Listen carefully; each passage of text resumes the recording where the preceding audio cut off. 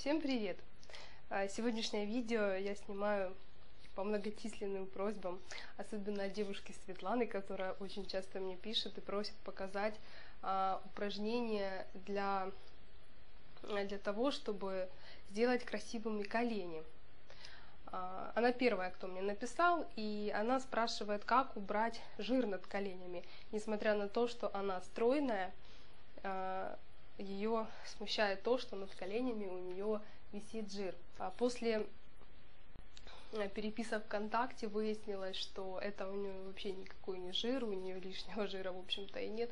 Оказалось, что это просто дряблая кожа, которая скапливается над коленями из-за того, что у нее слабые мышцы бедер. Поэтому не спешите думать, что у вас там много жира или еще что-то. А сначала необходимо разобраться в истинной причине, почему же а, у вас не очень красивые колени. Итак, как же все-таки подтянуть колени? Что для этого необходимо делать? Для начала мы с вами рассмотрим варианты, выясним причину, э, что не так, а затем будем выполнять упражнения. Итак, для начала начнем с жира над коленями. Откуда берется жир а, и как от него избавиться? Вообще, конечно же, определенный процент жира э, на теле должен быть как у женщин, так и у мужчин. Вот, но, конечно же, если он лишний, то от него необходимо избавляться, а, даже не только потому, что это эстетически не очень красиво, но и это очень вредно для здоровья на самом деле. Задумайтесь об этом.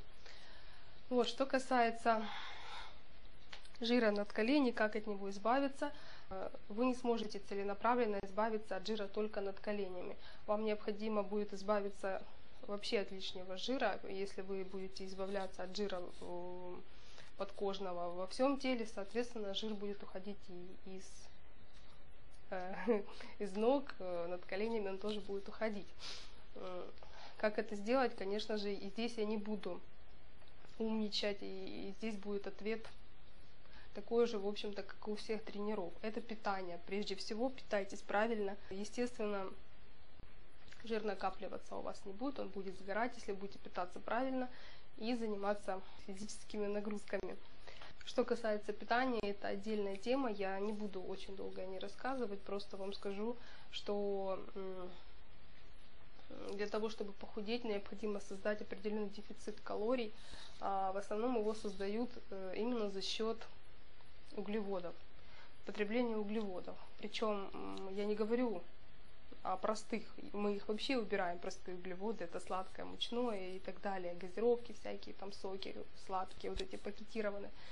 Углеводы даже за счет сложных углеводов, каши, а, можно немного урезать каши, добавить больше овощей и больше белковой пищи. Вот тогда вы сбалансируете свое питание, а также не забываем о правильных жирах, Трансжиры нам не нужны, нам не нужны насыщенные жиры, нам нужны ненасыщенные растительные масла.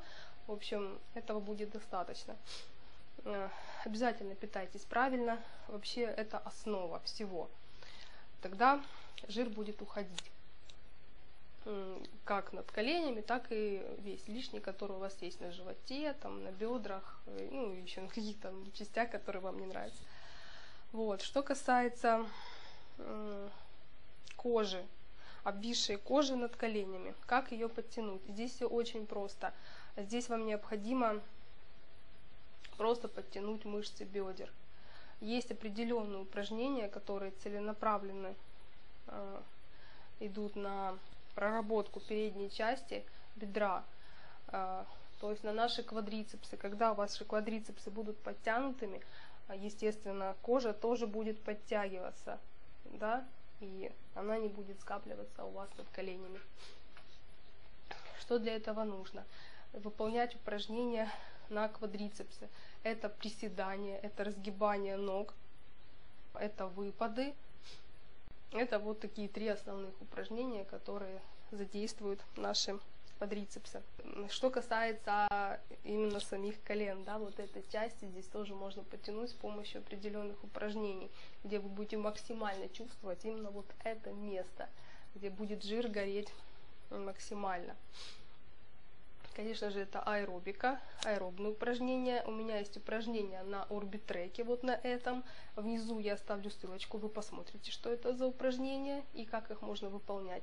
Но если у вас нет орбитрека, не отчаивайтесь, я вам покажу упражнения, которые можно выполнять не без орбитрека, э, которые тоже максимально утомляют а, мышцы и помогают вам тем самым э, сжечь лишний жир, а также одновременно эти мышцы подтянуть. Итак, давайте начнем. Если у вас нет арбитрейка, какие упражнения можно выполнить? Здесь на самом деле все очень просто. А, на упражнения в арбитреке, это больше вторая часть для утомления ног, я вам показываю, что упражнения необходимо выполнять в приседе. В данной ситуации мы тоже будем выполнять упражнения в приседе. Итак, как оно выполняется? Мы с вами присаживаемся, Прогибаем обязательно поясницу, наша попка должна торчать. Отводим таз назад и остаемся в таком положении. Вы можете продержаться какое-то время в таком положении. Выполняем упражнения статически. Статические упражнения, помимо того, что укрепляют ваши сухожилия, а, делают более выносливые мышцы, они еще очень хорошо помогают сжигать жир, э, калории. Вообще все упражнения помогают сжигать калории, это ни для кого не секрет. Так вот, а, мы начинаем со статического упражнения, вот с такого приседа. Здесь очень важно обращать внимание на то, насколько вам комфортно. Что я имею э, в виду, говоря комфортно? А, есть люди, у которых проблемы с коленными суставами или тазобедренными суставами. Здесь вам необходимо будет э, присесть таким образом, чтобы не, э, не доставлять себе болевых ощущений именно в суставах. Об этой зоне комфорта я говорю, а не о мышечной. Когда наши мышцы горят и, и начинают трястись, это очень-очень хорошо. Значит, они работают. Так вот, выберите для себя определенный угол. Не нужно приседать слишком низко, это очень вредно для колен, в принципе, для всех. Делайте так, чтобы был угол или 90 градусов, или немного больше. Вот, даже в полуприседе вы можете держаться в таком положении. Что мы делаем дальше? Из этого приседа мы с вами начинаем идти, а, так же, как мы с вами шли на арбитреке. Мы идем с вами вперед, несколько шагов и назад. И ходим так до тех пор, пока наши мышцы не будут гореть, пока вы просто уже ну, не сможете ходить. Тогда, конечно же, мы с вами встаем и отдыхаем. Это очень эффективное упражнение для похудения ног вообще. А, и, конечно же, наши колени тоже скажут вам спасибо за красоту. Что касается разгибания ног, то здесь я вам неоднократно показывала упражнение. Это вы садитесь на скамью или на стул, надеваете утяжелители на ноги, садитесь плотненько к спинке и начинаете разгибать свои ноги. Точно так же вы можете выполнять статические упражнения. Вы поднимаете свои ноги и держите их э, в таком положении. А затем снова выполняйте динамические упражнения, сгибаете и разгибаете свои ноги. А также существует еще одно очень вообще замечательное упражнение. Я о нем даже не знала до того, пока не пошла учиться на тренера. Мой инструктор мне его показал, научил его делать, за что ему огромное спасибо. Но это упражнение, оно, я вам сразу скажу, подойдет не всем людям. Оно на самом деле очень трудновыполнимое. То есть технику понять очень сложно. Конечно же, его лучше сделать под наблюдением тренера или э, пробовать делать его сначала в очень короткой амплитуде, постепенно, э, чтобы понять принцип. Я вам сейчас его покажу, объясню, как его делать. Это упражнение оно довольно-таки травмоопасное, если выполнять его неправильно и неаккуратно. Это приседание, сизифовые приседания это они называются, и выполняется оно следующим образом. Вам нужна какая-то опора, вам нужно за что-то держаться. Вы становитесь вот в такой позиции, то есть пятки вы сводите э, вовнутрь вместе, а носочки вы разводите. Ну, приблизительно, если смотреть вниз, то где-то вот на 45 градусов. А сейчас я буду показывать сбоку это упражнение, чтобы вам было видно. Значит, в чем принцип? Э, когда вы держитесь и стоите в такой позиции, вы должны приседать а, таким образом, чтобы ваше тело от колен до макушки составляло одну сплошную линию. А, странно звучит, возможно. Когда во время приседания мы с вами приседаем, да, у нас происходит изгиб в коленном суставе, а также в тазобедренном. Здесь у нас изгиб будет в коленном суставе, а также в голеностопе. Так вот, что мы с вами делаем? Во время приседаний а, мы переносим вес на носок. Мы начинаем приседать таким образом, чтобы наши колени выходили вперед и в пол. То есть мы начинаем подниматься на носки и выводить колени вперед и вниз. Что же происходит с остальной частью нашего тела? Мы должны прижать ягодицы наши, зажать и а, напрячь максимально мышцы кора для того, чтобы э, суметь удержать себя в ровном положении. Сейчас я продемонстрирую. Когда мы с вами поднимаемся на носки и опускаем колени в пол, мы якобы выталкиваем себя ягодицами. Когда мы их зажимаем, мы выталкиваем себя вниз. Вот получается что-то вот такое. Мы переносим вес на носок, и колени выступают вперед. А затем э, мы колени опускаем в пол. Вот так это выглядит. И поднимаемся. Это упражнение очень хорошо развивает и укрепляет наши мышцы, а, а, мышцы наших квадрицепсов. Вообще это упражнение, оно просто очень уникальное. Оно тренирует все мышцы нашего тела. У нас тренируется голень, у нас тренируется Э, квадрицепсы, а также в статическом режиме бицепс бедра, а, ягодицы и мышцы пресса и спины. Оно очень сложно э, выполняемое, а, и здесь нужно очень внимательно следить за техникой, а, чтобы себе никак не навредить своему здоровью, своим суставам.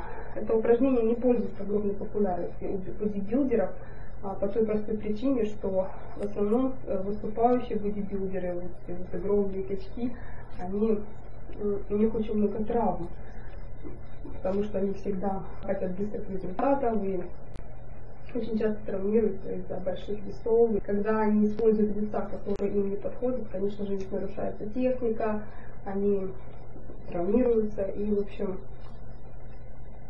не выполняют. А сизифовые приседания это очень эффективное упражнение, но действительно они сложно, э, их сложно воспринять, а сложно выполнить правильно, но если вы научитесь выполнять э, правильно, э, то вы не получите травм, и все будет хорошо, и вы действительно сможете подтянуть свои колени. Они будут выглядеть просто прекрасно.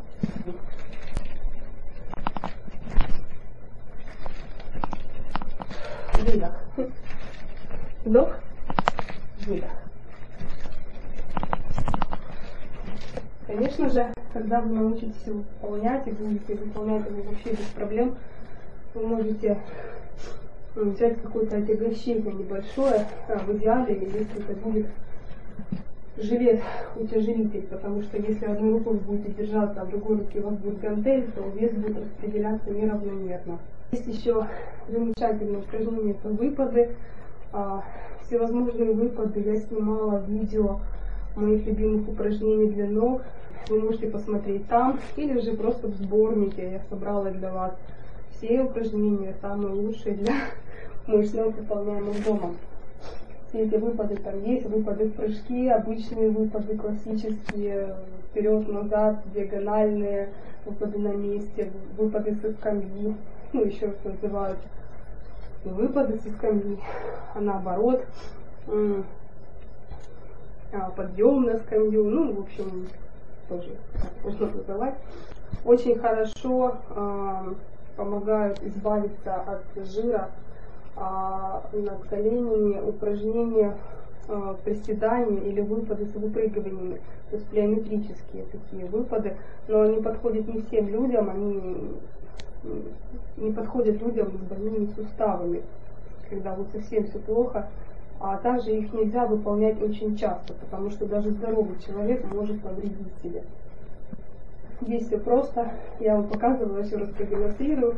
Самые обычные приседания.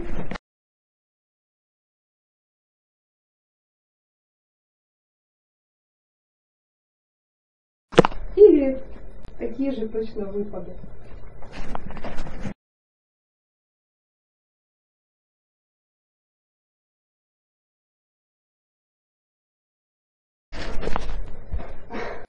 А, также очень, о, я даже уже чувствую, также очень классные приседания с выпрыгиванием, которые выполняются а, с узкой постановкой ног и широкой, вот таким образом.